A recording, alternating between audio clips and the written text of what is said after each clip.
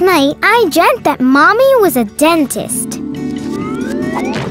Daddy was there and he had a terrible toothache. His cheek was all red and swollen. So he went to see the dentist. The dentist saw him right away because it was urgent. So she took him into her examination room and asked him to sit down in her super cool chair. But Daddy had some problems because the chair was set wrong. So the dentist adjusted it with a remote control. But the remote didn't work quite right, and Daddy ended up upside down.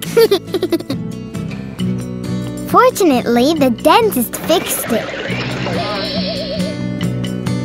To see the tooth better, she turned on a very bright lamp. But again, it didn't work so well.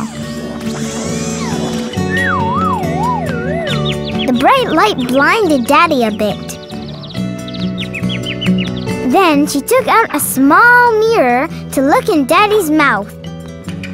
She saw a big cavity.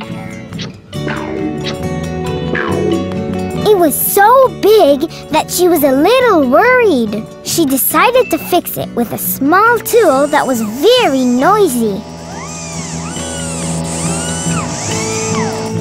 Then she took out a pair of pliers to remove the sick tooth. And then she was happy. Daddy was very happy too. His tooth didn't hurt anymore. He was so glad that he gave the dentist a big smile to thank her.